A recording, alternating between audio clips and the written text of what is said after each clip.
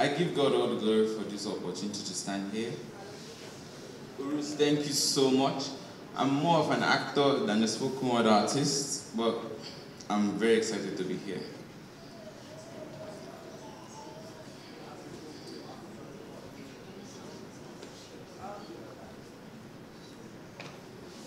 It started up one day. One touch, one feel, one shrink, one orgasm.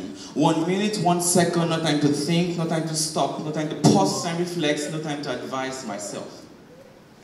But what was I really going to tell myself? That take the role of a husband and a wife at the same time, or that it's not bad touching myself. After all, it is not fornication. I'm not touching anyone, neither is anyone touching me. Or maybe I should just stop killing myself.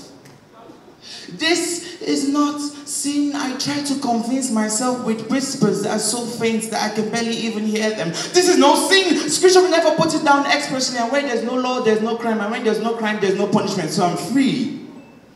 Or am I? So I started up one day, continued and it grew. Age just outnumbering my age. This has been my only flaw that brings me to the floor of repentance. Why do I keep doing this? Constantly defiling his temple with the hands that he gave me to worship. I'm addicted. I can't stop not to praise him, but to praise my flesh. I give glory to myself.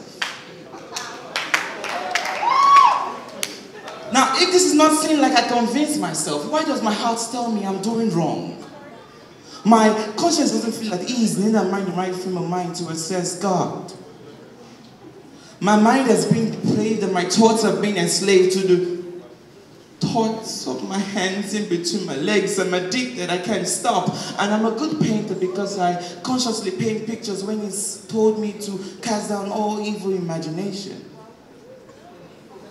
Lost in my mind is uncontrollable. I do not have sex. Neither do I engage in that kind of discussion that will lead me to sex, but my mind is rated X, X, X. I'm addicted.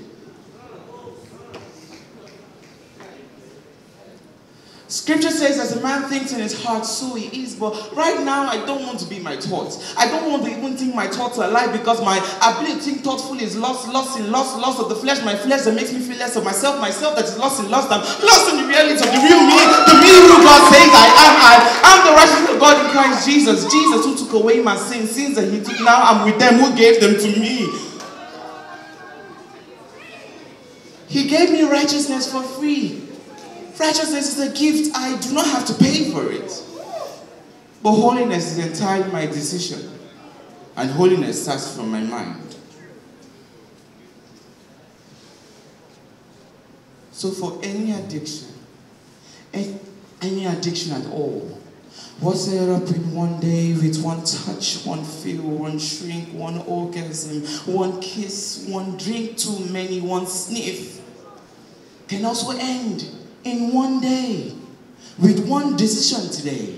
So let the Holy Spirit take away temporal pleasures that denies us eternity. One decision to hide God's word deep down in our heart that sin becomes repulsive. One decision to focus on thinking syllables that he taught us in Philippians chapter 4 verse 8. One decision to love him far above the addiction that you can't. Or rather you thought you could never stop. Now I've made my own decision.